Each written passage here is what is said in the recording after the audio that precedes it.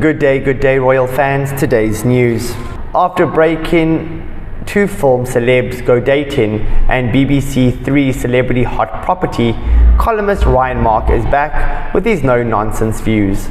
Following Harry's latest telly wineathon, it's high time these brats never get a second chance, he shares. Harry and Meghan even type in those two names make my fingers weep. The best comparison I can make to this loathsome couple is to a wasp, pointless, irritating, and packing a nasty sting.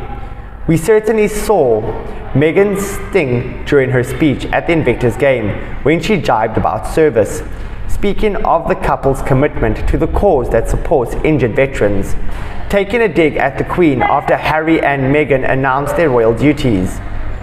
We've even seen the tail end of Harry's venom during his recent NBC interview with Hoda Kotb, in which he refuses to speak about his father and brother. I have written many columns about this pair. The first reacting to their decision to leave the UK in pursuit of privacy.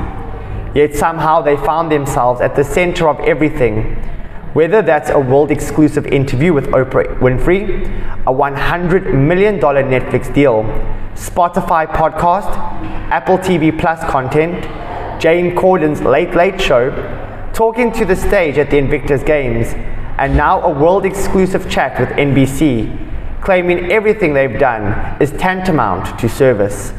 No, Meghan, all we see is self service and bullshit everyone who can't see by now that this innocent PR machine that's been orchestrated by the Sussexes isn't for one thing and one thing only fame and money is an idiot. Meghan has been desperate for this level of attention, and finally, it's all about to come to fruition, but at the expense of a monarch who's celebrating 70 years of true service, something Harry and Meghan should become more familiar with. Instead, these brats are happy to overshadow the Queen's Platinum Jubilee with the filming of their new multi-million Netflix show and Harry's looming autobiography that needs to sell copies.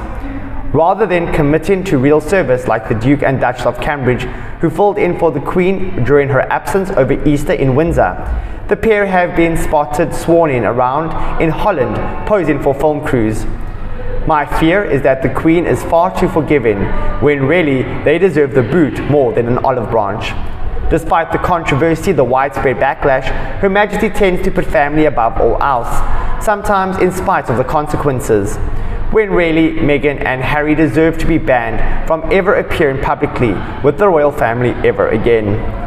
If anything, they should be offered to walk the plank instead of prancing about a palace balcony with the world's eyes observing their every move, everything Harry and Meghan could possibly want.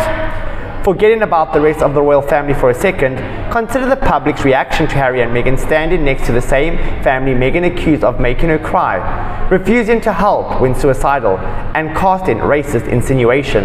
There could be boos, and rightly so, and I would join in. Thank you guys for watching today's installment. I hope you enjoyed the content. Very interesting stuff. Don't forget to like, comment, and subscribe for more. Goodbye for now.